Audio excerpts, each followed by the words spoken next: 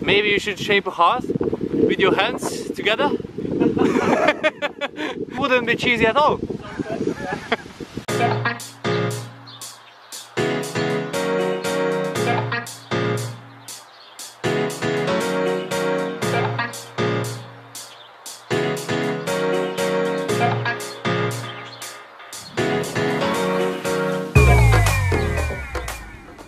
We're cycling the Danube River following the Eurovelo 6 from Germany to Romania.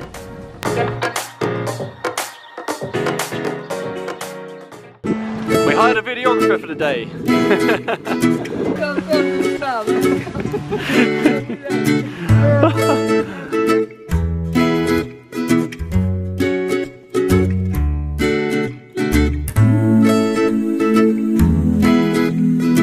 Hey Haz, happy mini break.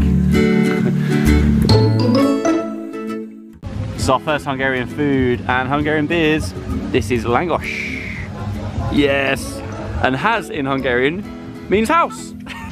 and it's kind of like a donut with loads of sour cream, loads of cheese, deep fried. Incredible. it literally is incredible. Um, this place is too cool. They're playing like Spanishy, Spanishy, salsery music and I'm just on top of an old bus and they've put all these chairs out to make it into a restaurant.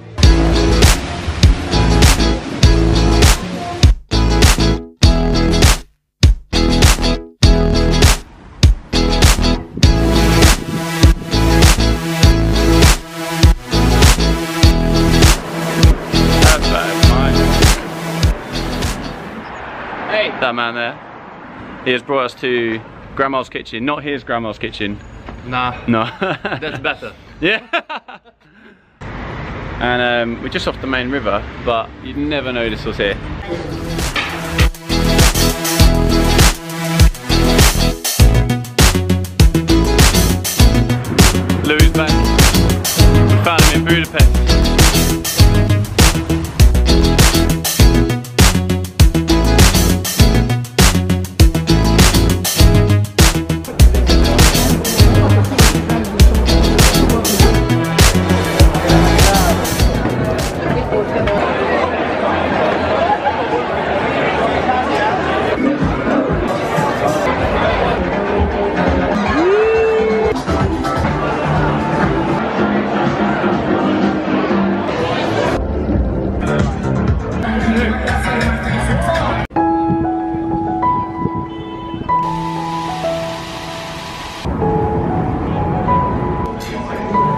This is one of the best things I've ever, ever tasted. It's beef cheek with potato dumplings and crispy onion. Got the langosh. Woo! All in tin foil. It's got loads and loads of cheese on it. We put extra jalapeno and garlic on it. It's gonna be amazing. Let's get to the hill. What a place.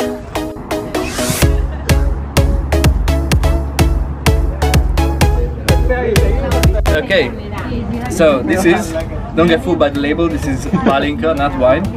Uh, this is a typical Hungarian spirit, this is homemade, so the best of the kind. And it can range from 40 to 60 or maybe up to 70 degrees in alcohol. Uh, so I just brought it for you up to this hill with a beautiful view for your first tasting. So man, yeah, let's do this. At first you get a taste. Just smell it first. I know, oh, I smell already. I always say never smell it, just get it down there. No, it's, it's good. It's good.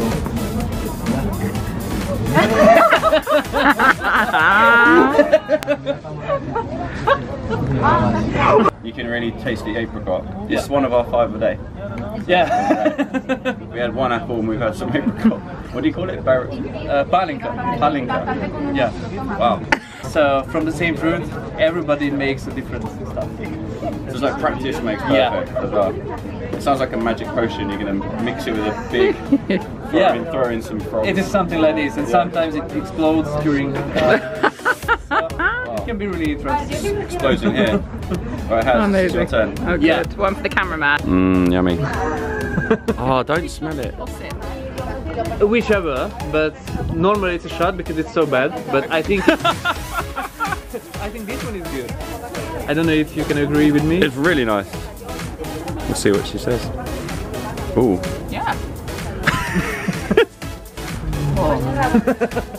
Cheers. No problem. so this is the Statue of Liberty on the top of the Gellért Hill and also known as the Big Beer Opener. it was first uh, erected here like uh, 1947 after the, after the Soviet people, the kind Soviet people freed us from the Nazi Germany.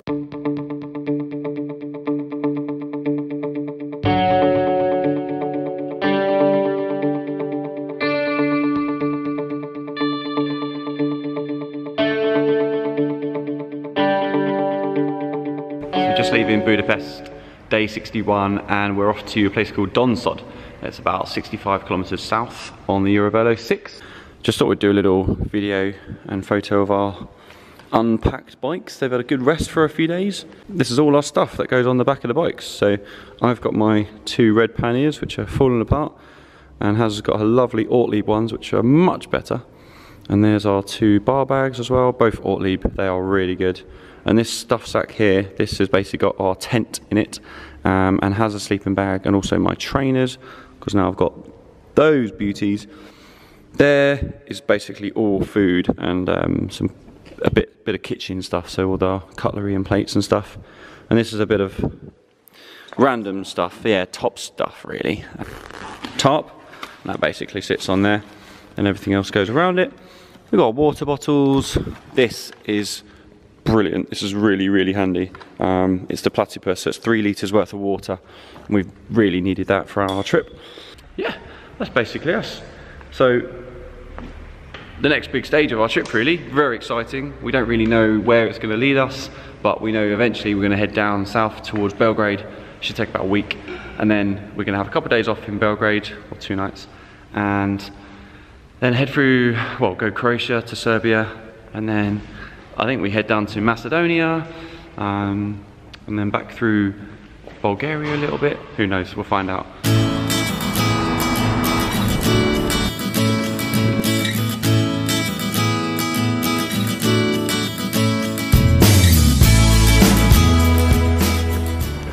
Ten minutes outside of Budapest, and we're lost directly. This is pretty much what we've got to get used to now. It's just very rural little villages, um, incredibly big potholes everywhere. So we've just found the big detour. Cyclopaths, uh, fellow Instagrammers found this a week ago or so, and we've just found it as well.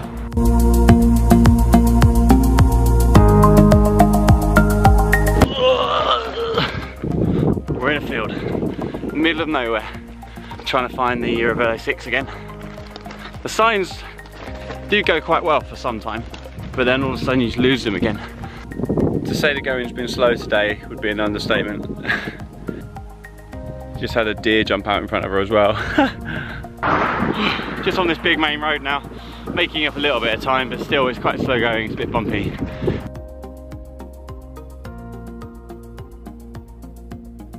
This campsite is completely and utterly empty. I think possibly because it's really off season now. Um, 17th of September 2018. Really, really quiet. So tonight I'm gonna try out the new bed. So this is the one that Thermarest sent to uh, Budapest for me because um, the previous two have now broken.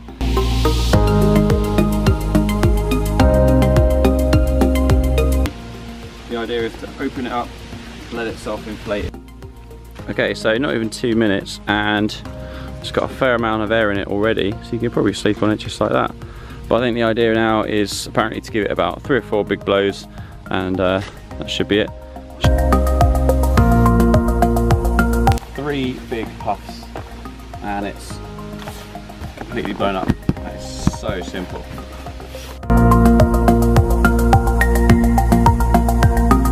Day 62 and today's the first day we have got no campsite or hotel in mind at all. Um, there's a little restaurant about 90 kilometers down where we're hoping to stay in their garden. We'll see what happens. Uh, but basically we're going to try and go to a place called Kalocsa today. Um, we only did 58 k's yesterday because there was just nowhere to stay and the roads were really slow. We were just like, this will do. Um, and we need to make up some time if we're going to get to Belgrade by Sunday. so fluffy. Doing really well today. Hopefully we'll be able to get this 90k done pretty well and then uh, still have a couple of days, a couple of hours of daylight where we can find some accommodation. So, see ya. Human power is the winner.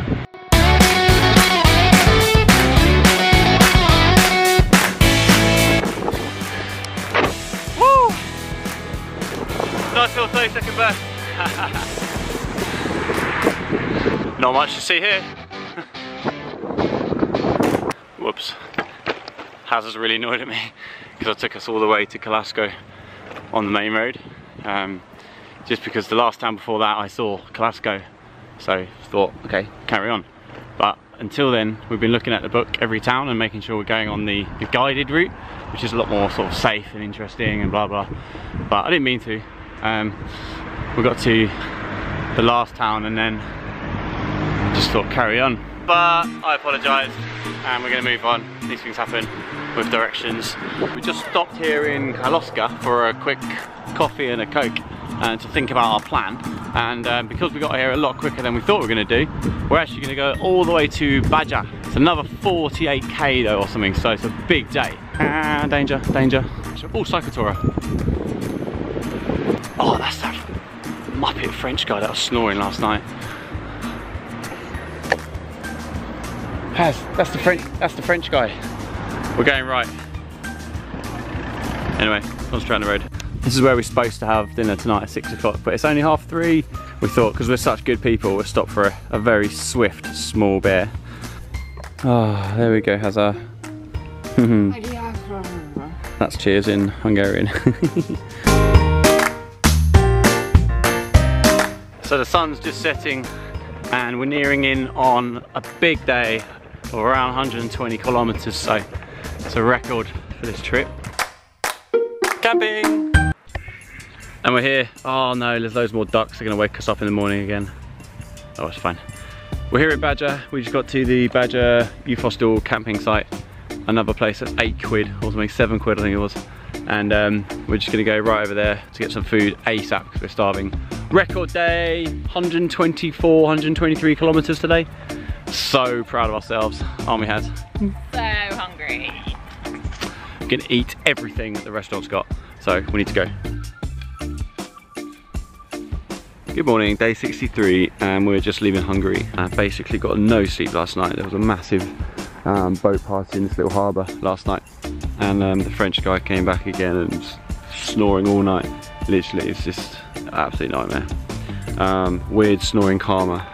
Felt really bad for him, but he lost his key this morning so he's hunting around forever. Merde, merde, merde. It's pretty funny. But I felt really, really sorry for him. He ended up finding it on the grass. Um, so that's good. We're going to go over there to Baja and find somewhere nice for breakfast. Um, something light because we ate our body weight in Hungarian traditional food last night. The fish soup in Baja is just phenomenal. Amazing breakfast. We had four meals basically and four coffees as well.